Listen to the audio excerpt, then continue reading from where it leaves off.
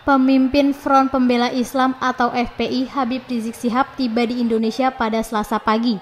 Warga terlihat antusias menunggu kepulangan Rizik di sekitar kediamannya di Petamburan 3 Jakarta Pusat. Masa yang berkumpul di sepanjang jalan KS Tubun pun langsung berbaris menyambut kedatangan Rizik kompak melantunkan solawat.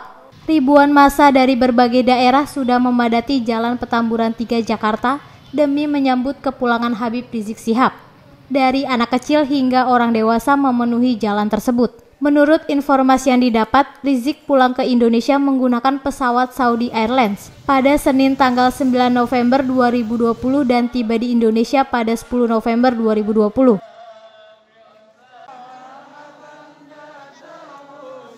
Dari Jakarta, Sidik dan Firda Tribrata TV, salam Tribrata.